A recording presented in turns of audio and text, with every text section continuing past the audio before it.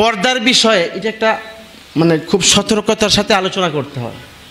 আমাদের মিজানুর রহমান আজহারি ভাই একবার ফতুয়া দিয়ে খুব ঝামেলা করে ফেলছে। আসলে কি জানেন?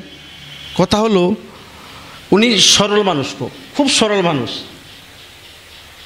আমাদের বর্তমানে মানুষ মেয়ে চয়েস করে তার চেহারা দেখিয়া।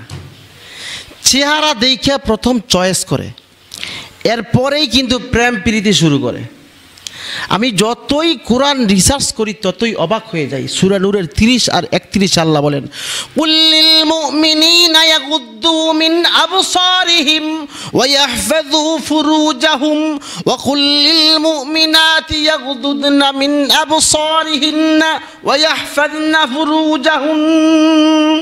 আল্লাহ প্রথম বলেছেন, মুমিন পুরুষদেরকে আল্লাহ বলতেছেন, তারা যেন তাদের দৃষ্টিকে অবনত রাখে, দৃষ্টিকে যেন নিচের দিকে রাখে। এর পরে আল্লাহ বলেন, লজ্জাস্থানে যেন হেফাজত করে।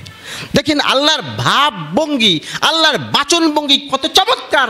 আল্লাহ কিন্তু প্রথম লজ্জাস্থানের কথা বলে নাই। আল্লাহ প্রথম বলেছে, চোখের হেফাজত করবা।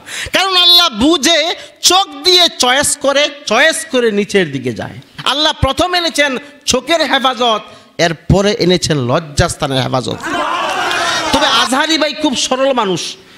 উনি তো বাহিরে মালয়েশিয়া লেখাপড়া করেছে। বাংলাদেশের অবস্থা জানে না। আর ভুল মানুষেরই হইতে পারে, সমালোচনা করার দরকার নেই, ভুল আমারও তো হইতে পারে। ফতুয়া হয় ওরফের উপর। বাংলাদেশের প্রচলন, বাংলাদেশের সিস্টেম উনি বিদেশ থাকে তো এই জন্য বেশি একটা জানে না। আর আমি ফলো করেছি আমি সব মাঝহাবের বা সব ইমামের মতামত পড়ি তো উনি যেই কথাই বলে কোনো না কোনো ইমামের কথা বলে কোনো না কোনো ইমামের কথা বলে কিন্তু বাংলাদেশে হানাফি মাঝাব মশহুর প্রসিদ্ধ। এই জন্য হানাফি মাঝাব অনুযায়ী ফতুয়া দেওয়া উচিত।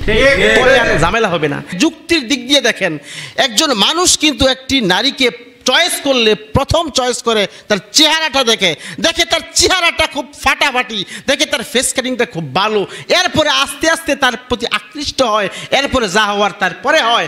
এই জন্য বর্তমানে চেহারাকে ঢেকে রাখা আবশ্যক। ফেতনার জামানা। ফেতনার জামানা এটা। কথা বলছেন না? তো আমাদের আলোচ্য বিষয় হলো পর্দা। মনোযোগ সহকারে শুনবেন, বাড়িতে গিয়ে বলবেন। এই কান দিয়ে শুই না। ওই ক্যান দিয়ে বের করবেন না ভাই।